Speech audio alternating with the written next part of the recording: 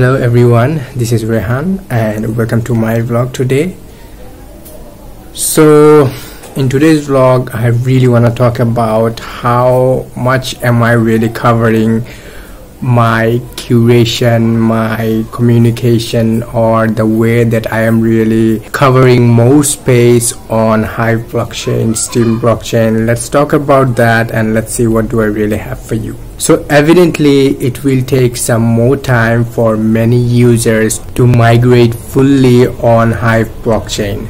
And I believe that will happen sooner than later but as because the development or let's say the way Hive blockchain is really advancing towards we really have a great future for it.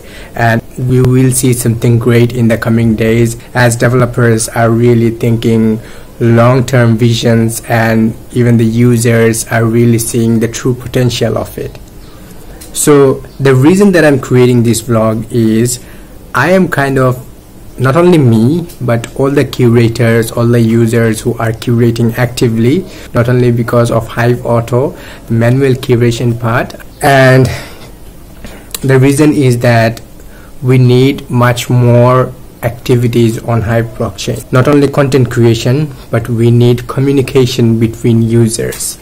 And in order to do that we will need users to show support towards others in terms of, voting, in terms of commenting, in terms of appreciating the contents in several ways. For instance, when I'm curating on Hive blockchain, I'm really seeing through various communities contents, I'm really seeing through my followers contents and as a result I am able to cover much more users even though my upvote is not really that much but thanks to some of the projects which I am really a part of, I am able to show some support through them. Eventually, what I am saying is migrating fully to Hive blockchain, it would really take some time for all of us because of the power down and some other uh, some other facts which really needs to be taken care of but until then i'm not also what should i say leaving my voting power stable on Steem blockchain as well. I'm curating out there not that much actively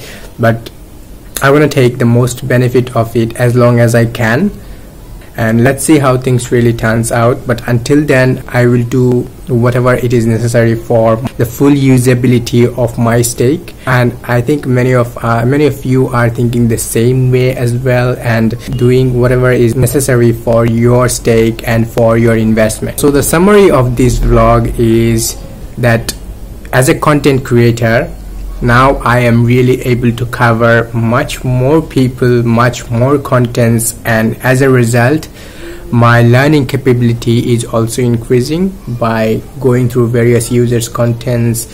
And thanks to that I really have some goals to achieve on Hive blockchain right now and I am really working towards it and I hope you are doing your best to achieve the dream of yours in Hive blockchain. So that sums up today's vlog and as usual I would really like to say stay at home guys and stay safe and that's it.